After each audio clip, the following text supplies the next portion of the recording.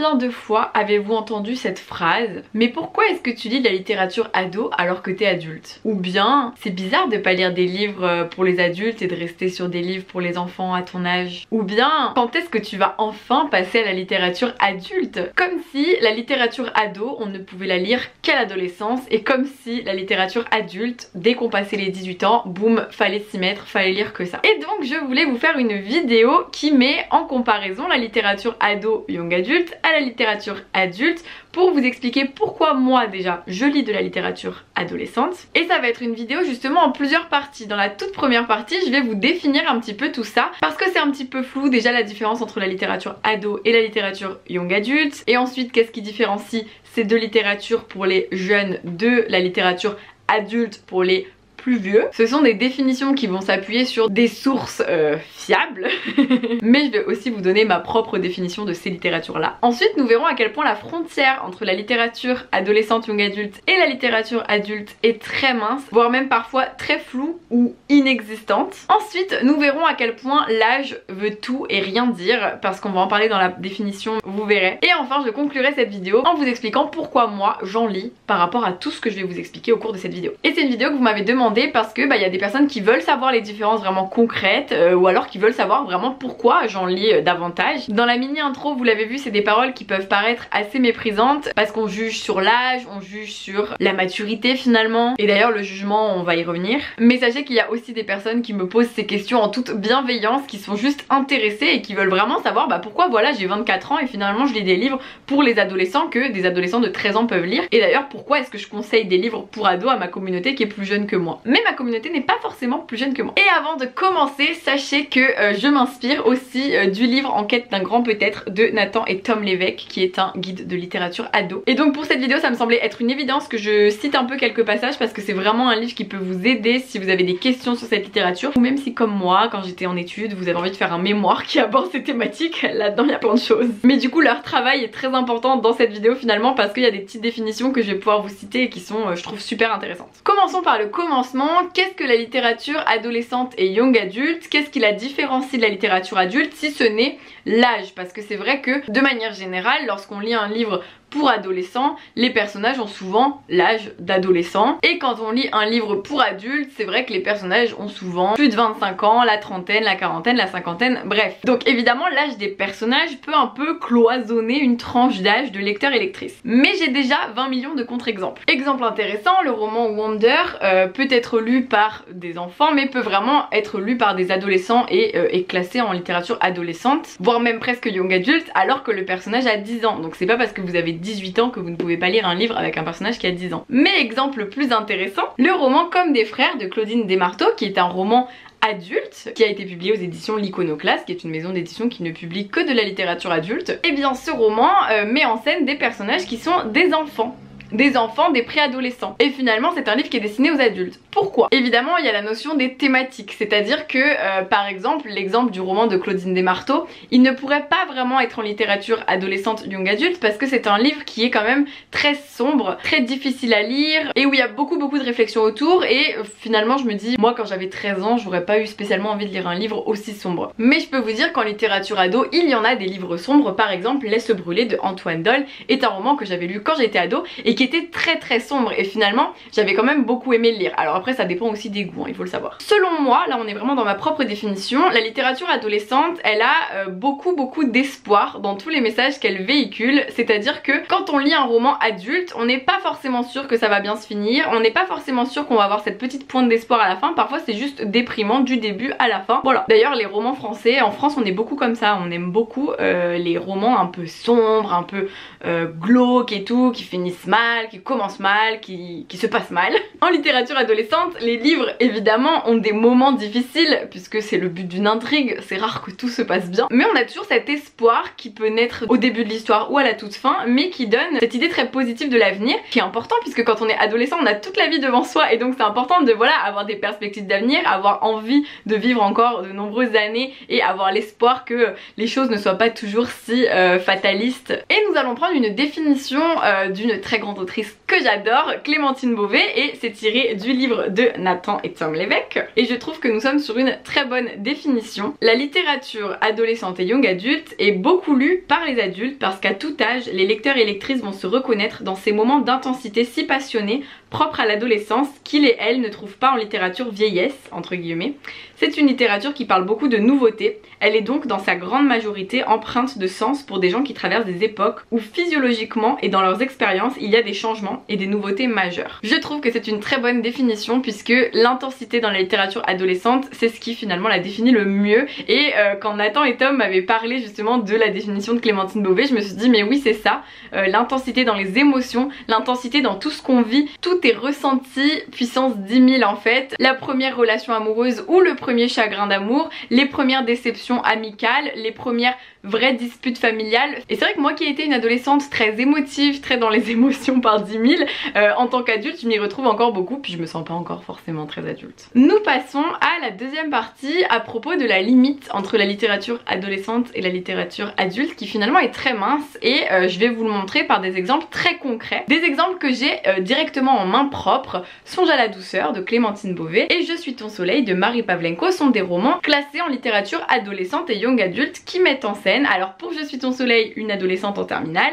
et pour Songe à la douceur, à la fois des jeunes adultes de 30 ans qui se retrouvent et à la fois leur passé lorsqu'ils étaient adolescents et d'ailleurs qu'ils euh, vivaient des amours complètement fous et passionnels. Là l'intensité est au max, Clémentine Beauvais peut appliquer sa propre définition à ses propres romans. Alors là vous ne le voyez peut-être pas. Je trouve que sur Je suis ton soleil c'est euh, assez visible. La couverture du livre de poche est quand même beaucoup moins connotée jeunesse que la couverture du livre adulte. Un adulte se balade rarement dans le métro avec un livre qui brille avec des coquillettes sur la couverture. Pourquoi Ça c'est complètement euh, propre aux personnes qui euh, pensent qu'on juge un livre à sa couverture mais c'est vrai que ce livre de poche peut vraiment faire beaucoup plus littérature générale et il s'avère que justement il est publié en littérature adulte en format poche. C'est aux éditions J'ai lu. Donc Je suis ton soleil existe en format poche pour les adultes entre guillemets mais c'est le même texte dedans, c'est le même livre, hein. ne pensez pas que ça a changé entre une version et une autre, non non, c'est juste on passe le livre en poche, mais du coup pour le rendre finalement plus accessible et pour que les adultes ne se retournent pas lorsqu'ils voient le livre sur une table de librairie et se disent oh il a l'air bien au lieu de se dire oh c'est pour les enfants c'est pas pour moi, c'est complètement marketing il faut le savoir hein, mais au-delà du marketing ça nous montre à quel point la limite est mince puisqu'il y a des adultes qui vont le lire en pensant que c'est de la littérature adulte. Pour Songe à la douceur c'est la même chose, là il est publié aux éditions Point, alors la couve peut quand même faire genrer on pense aux stéréotypes de genre, parce que euh, techniquement le rose ne devrait pas être genré comme quelque chose de féminin, mais Malheureusement c'est pas moi qui décide du patriarcat, des genres, tout ça. Mais du coup on est sur le même exemple, c'est un livre qui est aux éditions Point, une maison d'édition qui est vraiment connotée adulte et qui euh, ne publie pas euh, de livres adolescents à la base. Si on compare à d'autres maisons d'édition qui publient des livres de poche en littérature ado ou young adulte, par exemple La Passe Miroir, Les Fiancés de l'hiver ou L'aube grandiose de Anne-Laure Bondou. Là ils sont dans la collection Pôle Fiction de chez Gallimard qui est une collection ado young adult. Mais voici le grand format de L'aube grandiose, voici la version poche aux éditions Gallimard Pôle Fiction et voici juste ici la version poche aux éditions Folio. C'est aussi euh, une collection des éditions Gallimard mais une collection Et c'est là que c'est très drôle, c'est que L'aube sera grandiose, il est sorti en littérature jeunesse, chez Gallimard Jeunesse donc, il y a quelques années, et lorsqu'il est sorti en format poche, la maison d'édition s'est dit on va faire une double sortie, il va sortir à la fois en format poche jeunesse et à la fois en format poche adulte. Et là j'ai une anecdote, c'est que euh, moi, vu que j'ai reçu les deux, mais là je n'ai pas le deuxième dans ma main, parce que je l'ai donné à ma mère. J'ai reçu les deux et je me suis dit bon ça sert à rien que je garde les deux en soi, même si ça m'arrive de faire ça quand j'adore un livre, et je l'avais adoré. Mais du coup je me suis dit tiens la version adulte je vais le donner à ma mère. Mais on est d'accord encore une fois c'est le même texte hein. ne pensez pas qu'il y a des choses qui ont été modifiées. C'est la même histoire à 100% le, même texte. Il y a que la couverture qui change et la maison d'édition. Et ma mère l'a lu et m'a dit mais c'est un livre jeunesse à la base puisque moi euh, je l'ai lu et vraiment euh, ça m'a semblé être un livre que j'aurais pu lire euh, dans n'importe quelle maison d'édition adulte. Ça l'a pas du tout choqué en fait. Et c'est là que je voulais voilà vous montrer par des arguments plus concrets finalement que la limite elle peut être très mince. Et finalement l'intensité des émotions de l'aube sera grandiose peut quand même résonner lors de la lecture que ma mère a fait du livre. Et c'est pas pour autant qu'elle s'est dit c'est pour les enfants. Et inversement des livres très adultes par exemple les romans de Virginie Grimaldi sont quand même très connus pour être lus par toutes les tranches d'âge puisque Euh, ce sont des romans très feel good, avec des sujets quand même très difficiles, mais euh, qui rayonnent d'espoir et de bonheur et d'intensité dans les émotions finalement. Donc on peut voir que même des auteurs et autrices adultes, publiés en littérature adulte, sont finalement sur cette ligne qui peut caractériser la littérature ado. Donc les limites sont très minces. Et Alaska se lèche les fesses en exclusivité pour vous. Heureusement le plan censure d'office. Alaska, on ne voit pas tes fesses, c'est bien, tu gères, bravo. Elle va se mettre là-bas pour que vous la voyez mieux en fait.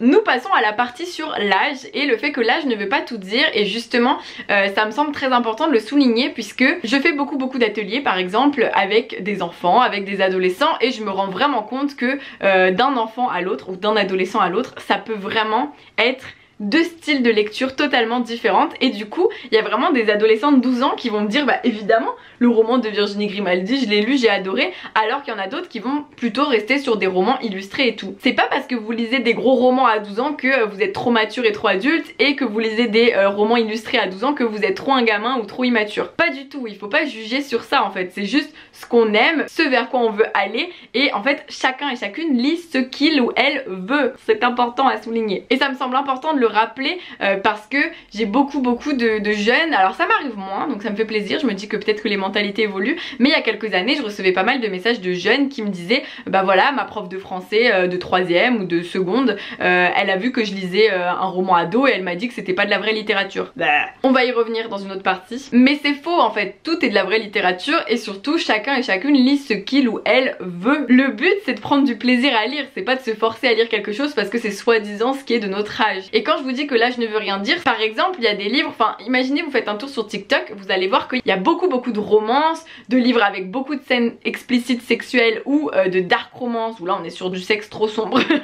Moi par exemple j'ai 24 ans, je pourrais le lire dans le sens où j'ai l'âge où j'ai le droit de le lire entre guillemets mais j'ai pas du tout envie de le lire. Et à l'inverse il y a des filles de 13 ans qui vont le lire. Ça c'est les limites un petit peu pour moi où euh, j'estime quand même qu'il y a certains âges où on peut lire certaines choses et certains âges où il vaut mieux s'abstenir mais après là c'est aux jeunes et aux parents de faire ce qu'ils ont à faire, chacun fait comme il veut. Mais c'est la preuve que voilà, il y a des jeunes de 13 ans qui vont adorer des livres euh, avec euh, du sexe dedans, quand il y en a qui ont 30 ans et qui n'ont pas du tout envie de lire des romans sur la sexualité. Et en fait, personne va vous forcer. C'est la même chose, pourquoi est-ce qu'on vous forcerait à lire des livres pour les adultes quand vous avez 20 euh, ans? Parce que soi-disant, bah, vous êtes une adulte, maintenant c'est parti. Finalement, les arguments des gens qui estiment que la littérature jeunesse, on peut la lire que quand on est jeune, c'est un peu des arguments bof, puisque ça voudrait dire que eux, en tant qu'adultes, quand les personnages ont 8 ans dans les livres qu'ils lisent, bah c'est bizarre finalement qu'ils lisent des livres comme ça. Alors que non. Et ça nous glisse doucement vers une partie, alors avant la partie où pourquoi j'en lis, mais ça va justifier pourquoi j'en lis, euh, je voudrais passer à cette partie jugement finalement. La littérature ado et young adulte, elle est beaucoup jugée, beaucoup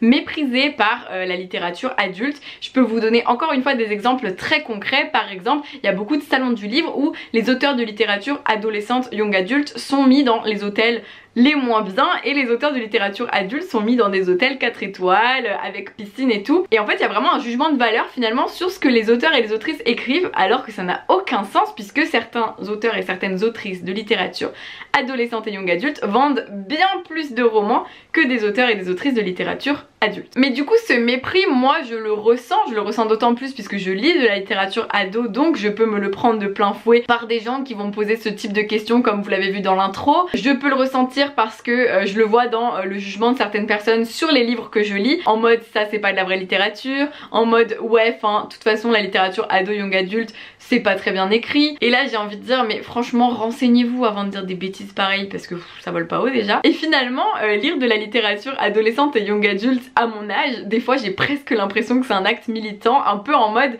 regardez j'ai 24 ans et à 24 ans vous avez le droit d'en lire et surtout même si vous avez 40 ans vous avez le droit d'en lire. Et je beaucoup beaucoup de messages d'adultes, euh, de personnes qui sont même grands-parents qui euh, m'envoient des messages en me disant bah voilà j'ai 40 ans, j'ai 60 ans et je lis des romans de littérature young adulte et j'adore ça. Et ça résonne avec la fameuse citation de Clémentine Beauvais qui montre à quel point c'est pas parce qu'on est adulte qu'on ne vit pas des situations de nouveauté, d'intensité, de grands changements et on peut se reconnaître à travers du coup les situations des personnages même s'ils n'ont pas notre âge. Et on en vient à pourquoi j'en lis. Déjà euh, j'aimerais vraiment distinguer un peu littérature ado et young adulte, la littérature adolescente. C'est vrai qu'elle est un peu plus connotée, en fait c'est un peu des questions de tranche d'âge. La littérature ado on va plutôt la classer à à 13 ans et moins, alors que la littérature young adulte, on va la classer à 13 euh, ans, 30 ans quoi à peu près. Et c'est vraiment le public visé. Ça c'est un peu terme marketing et tout parce que comme je vous le disais ça ne veut rien dire, on peut en lire quand on a 12 ans ou quand on a 40 ans. Mais du coup il faut savoir que moi je lis beaucoup plus de littérature young adulte que adolescente. Et donc la littérature young adulte je m'y reconnais d'autant plus puisque euh, il peut y avoir des personnages qui finalement ont mon âge. Parce qu'en fait la littérature young adulte elle tourne autour de problématiques où euh, on s'identifie aux personnages parce qu'ils vivent des grands changements dans leur vie, que ce soit une relation amoureuse, des découvertes de secrets de famille,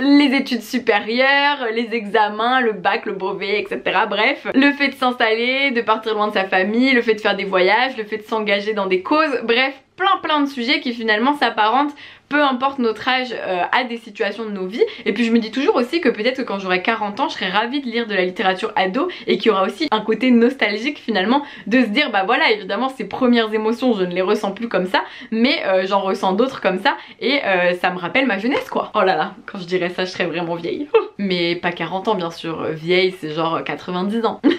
Je ne pense pas avoir des personnes de 90 ans qui me regardent sur YouTube mais peut-être que c'est le cas si c'est le cas manifestez-vous dans les commentaires et donc moi c'est une littérature dans laquelle je me reconnais beaucoup. Euh, j'ai besoin de littérature où il y a beaucoup d'espoir, j'ai besoin de littérature où il y a beaucoup d'intensité, c'est ce qui me ressemble et me caractérise le mieux et donc c'est ce que je retrouve dans les lectures que je lis et ce que j'apprécie beaucoup aussi. J'apprécie beaucoup aussi le fait que dans la littérature adolescente et young adulte, les auteurs et les autrices ne se mettent pas forcément de barrières, n'écrivent pas juste pour écrire pour ci, pour plaire à ça, mais écrivent juste pour euh, raisonner avec ce que vivent les adolescents et les adolescentes et donc c'est d'autant plus juste je trouve et c'est d'autant plus ancré dans la réalité et ça ça me plaît beaucoup. C'est une littérature que je trouve belle, que je trouve très variée, qui est remplie de diversité de plus en plus. C'est une littérature qui évolue très positivement. Moi quand j'ai commencé mes vidéos c'était il y a 8 ans et je peux vous dire que euh, des romans avec des couples homosexuels il y en avait très peu et c'est pas normal et il faut se dire que en 8 ans j'ai vu la différence et maintenant si je dois vous montrer combien de livres dans ma bibliothèque. Ont en couple principal un couple homosexuel ou ont en personnage principal un personnage qui appartient à la communauté LGBTQ+, mais j'en ai énormément et c'est trop bien. Et je me dis euh, finalement moi en lisant juste plein de livres très différents en littérature young adulte je lis plein plein de livres très variés avec beaucoup de diversité. Et c'est pour ça que je vous disais qu'il y a aussi ce côté militant. Finalement moi ça me fait plaisir de pousser les jeunes à lire et c'est vraiment mon objectif principal. Et c'est pas en lisant des romans déprimants où les personnages ont 50 que je vais pousser les jeunes à lire j'en suis persuadée. Après libre à vous de penser le contraire mais moi je suis persuadée que c'est en parlant aux jeunes de livres qui leur ressemblent en parlant aux jeunes de livres qui me ressemblent aussi qu'on peut pousser les jeunes à se mettre à la lecture quand ils n'aiment pas lire. C'est pour ça que c'est très important pour moi de parler de lecture mais je ne me force pas. On me demande parfois, est-ce que vous lisez de la littérature? Ah Oui, on vous voit, c'est vrai. est-ce que vous lisez de la littérature adolescente, young adulte? Parce que c'est ce qui marche pas du tout. Déjà c'est faux. Il y a des comptes sur Instagram ou des chaînes YouTube de personnes qui lisent de la littérature adulte qui marchent très bien aussi. Donc j'estime que le public euh, est large et qu'il euh, y a des adultes sur les réseaux sociaux comme des adolescents. Et je ne fais pas ça juste parce que je sais qu'il y a plus d'ados sur les réseaux et que je veux un max d'abonnés. Pas du tout. Euh, c'est vraiment ce que j'aime lire. Si vous me suivez depuis longtemps, vous le savez. Vous savez aussi que je lis parfois des livres de littérature adulte et que ça peut me plaire aussi, hein. vraiment je ne me mets pas de barrière sur ça, je lis juste ce que j'ai envie de lire sur le moment. Mais c'est vrai que je lis vraiment de la littérature young adulte parce que j'aime ça, et vraiment j'aime ça. Peut-être qu'un jour je n'aimerais plus, je ne sais pas, je n'espère pas, mais euh, je vois plein d'auteurs et d'autrices euh, adultes euh, bien plus âgés que moi qui ont le double ou le triple de mon âge, bon le triple j'abuse peut-être un peu maintenant, mais au moins le double de mon âge et qui lisent et qui prennent beaucoup de plaisir à lire de la littérature adolescente encore. Donc j'espère faire partie de ces personnes quand j'aurai 50 ans. Mais l'un n'empêche pas l'autre. Lire des livres adolescents et young adultes ne vous empêche pas de lire des livres pour adultes, ne vous empêche pas de lire des classiques, ne vous empêche pas de lire des BD, des mangas, des essais, des romans historiques, des romances, des dark romances si vous voulez. Mais voilà, sentez-vous libre de lire ce que vous avez envie de lire, peu importe ce que les gens vous disent autour. Sachez que si j'avais arrêté de lire des livres pour les ados juste parce que les gens me disaient mais t'es adulte, pourquoi tu lis pas des livres adultes? Bah en fait j'aurais arrêté lire des livres livres environ une centaine de fois quoi. Moi je m'en fiche de ce que les gens pensent de moi. Je m'en fiche d'ailleurs de lire un livre dans le métro avec une couverture qui fait jeunesse ou adolescent. Je m'en fiche de ce que les gens vont penser de moi. Moi ce que je veux que les gens pensent c'est juste oh elle lit c'est cool et en fait c'est juste ce qu'il faut penser. Moi quand je vois quelqu'un qui lit dans le métro, peu importe ce qu'il ou elle lit, du moment que cette personne lit, c'est trop cool. Il faut démocratiser la lecture. Le plus important c'est que les gens lisent. Et plus on juge les gens sur leur lecture, plus ça met des freins à la lecture. Donc arrêtons de juger les personnes pour ce qu'elles lisent et soyons juste heureux et heureuses les gens lisent. Je pense que nous pouvons conclure cette vidéo sur ce point. J'espère avoir été assez complète et claire. J'ai beaucoup parlé, j'en suis navrée pour celles et ceux qui n'en peuvent plus de moi. Mais j'espère que ça vous a intéressé. J'ai vraiment envie que vous me disiez en commentaire euh, ce que vous avez apprécié dans cette vidéo ou pas pour que je puisse m'améliorer sur d'autres vidéos de discussion. Mais ça me tenait à cœur de faire celle-ci et comme je vous le disais, c'est incomplet, c'est 100% incomplet. Mais par contre si vous lisez le guide de Nathan et Tom vraiment vous pourrez compléter absolument tout ce que je vous ai raconté dans cette vidéo. Et euh, je pense que ça ne peut que être bénéfique pour vous. Si vous avez besoin d'arguments pour les gens face à vous qui vous disent des phrases un peu nulles comme j'ai pu en citer plein. Mais aussi si vous êtes bibliothécaire, prof, libraire c'est vraiment une pépite remplie de plein plein de choses extrêmement intéressantes. C'est pas du tout une promo pour le livre, hein, c'est mes copains qui l'ont écrit donc je suis pas objective mais ils sont trop forts et ça, même si je les connaissais pas, je le dirais quand même. Mais enfin, c'est mes copains donc ils sont trop forts. Sur ce, j'espère que cette vidéo vous a plu, j'ai hâte de lire vos commentaires et dites-moi aussi si vous aussi vous subissez parfois des petites questions un peu comme ça qui vous agacent parce que on vous juge finalement sur ce que vous lisez alors que bah juste on nous laisse tranquille. j'ai hâte de lire tout ça, je vous fais plein de bisous, je vous dis à très vite pour la prochaine vidéo et passez de très belles lectures d'ici là. Plein plein de bisous Thank you.